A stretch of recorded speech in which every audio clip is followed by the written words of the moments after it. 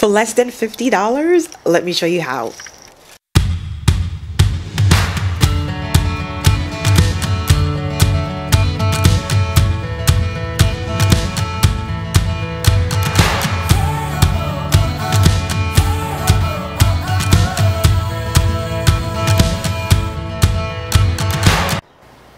Friends, I am so obsessed with these obelisks. They are gorgeous and they cost me less than $50 each to build. They are about seven and a half feet tall and just beautiful. I will leave everything you need to know in the description below. All the materials, tools, everything that we use in the description. So let's just dive right in. Here I am. I'm just like, babes, you know, this is what I want. This is how it looks.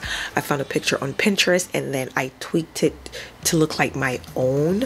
I didn't want to just copy and paste. So I'm just sharing my ideas and plans and, you know, so he get a full understanding of what I require or what I'm asking of him. And he was very generous and very kind, very supportive. And I'm just so thankful. So I just have to put that out there. Thank you so much, babe. Love you. Okay, so here he is pre-measuring all of the eight feet boards. So these are two by two by eight. I wanted them to be seven feet tall. So he took off a foot and a little bit because they were a little bit longer than eight feet. So that's what he's doing right here. He pre-measured every single one of them and then cut them off, cut a foot and a little bit off to make them all seven feet tall.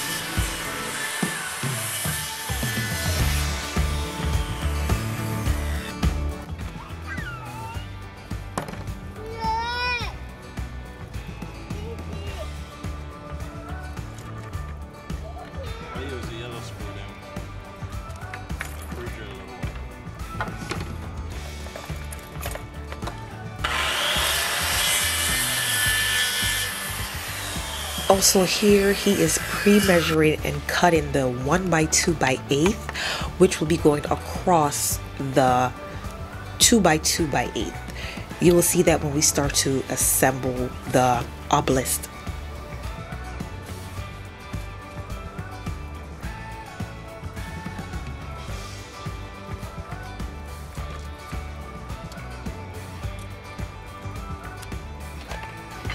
Now it's time to assemble the obelisk and here we are using two 2 by 8 that was cut down to be 7 feet tall. So we're going to put them in a triangle form. The top are going to be kissing each other, literally touching, kissing each other, making out.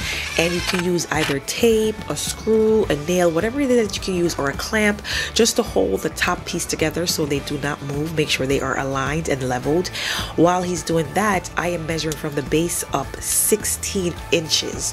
Wherever the 16 inches land, that is where I'll be putting my first 24 inch one by two across to hold the base to start off the first I guess ladder working my way up to the top. Now your measurement will depend on the size that you are going for. I decided to use 24 and work my way up from that gradually. So here he's just putting on the first pre-cut 24 inch one by two across. Measure again another 16 inches going up and wherever that lands that's where I put my second piece which was measured 18 inches across. You can do 24 20 16 12 8 all even numbers. I don't know how we came up with even odd numbers here but you know imperfection is just as beautiful as perfection measure another 18 inches and apply your third piece of wood. For us that measured uh, 14 inches. And then you're going to repeat the same thing.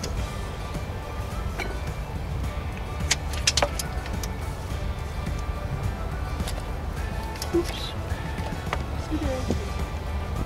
measure another 16 inches and place another piece which was 9 inches for us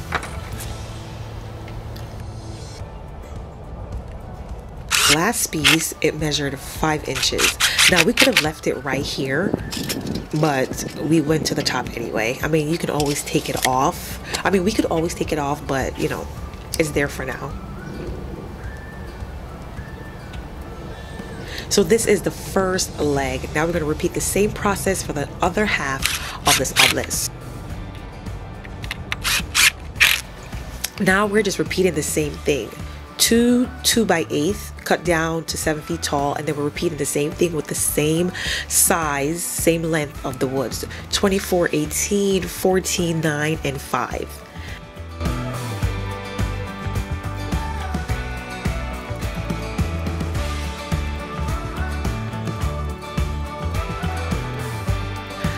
Now that we have that complete, we are joining both pieces together.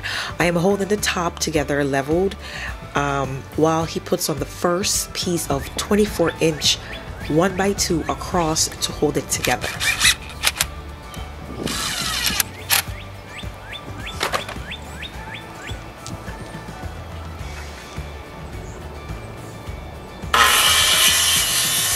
Next, he's added another 5 inch piece at the top to hold the top together in place so I do not have to hold it for the whole duration know cramp up my hands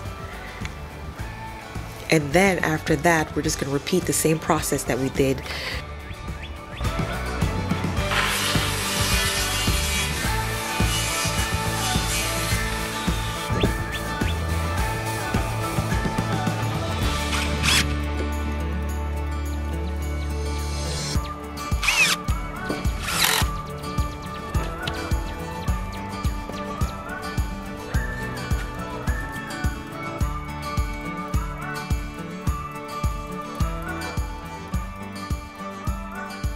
Now we are turning it over to the last side that need to be joined together and we are going to repeat the last several steps the same way. Add a 24 inch at the bottom, a 5 inch at the top, and then work our way up. So 24 inches, 18, 14, 5, and 9 all four sides all have the same length of wood just to look seamless and look somewhat identical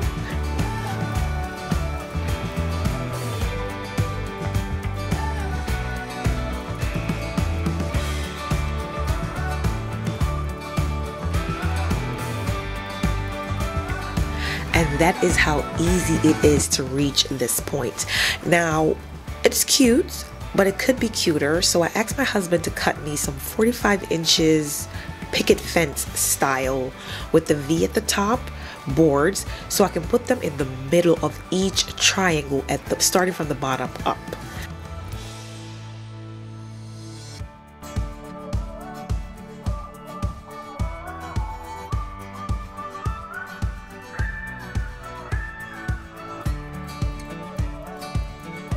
As you can see here, the pickets are only going to cover the first three um, going across. Beautiful. So the camera died when I was attaching them to the obelisk, but it's just so beautiful. It gave it more dimension, you know, a little bit more razzle dazzle, a little bit more flavor. I love it. They are just so easy to assemble and they are not that expensive at all. Now, they do have a little weight to them, but I can manage because, you know, I carry two babies in my arms. Um, but they are just amazing. So when I do use them in the garden, I do intend on burying them a little bit, maybe like six inches into the soil. Also use rocks just to keep it in place and steady in case of heavy high winds. But guys, look at these gorgeous. The next step is to stain, well not stain, I'm going to paint them a tropical color. I'm going to leave a picture at the end of this video. Let me know what color you are feeling. I am going for tropical vibes. So these wood are pressure treated and I am encouraged to wait, but you know, I'm a little bit impatient. So I'm going to give it a few weeks, maybe a month. I cannot promise anything. And then I'm going to stain them, not stain, paint them. So let me know what you think in the comments. Oh my goodness, I am just so excited. I'm so happy and I'm so in love. Thank you to my husband for being so supportive always. Bye.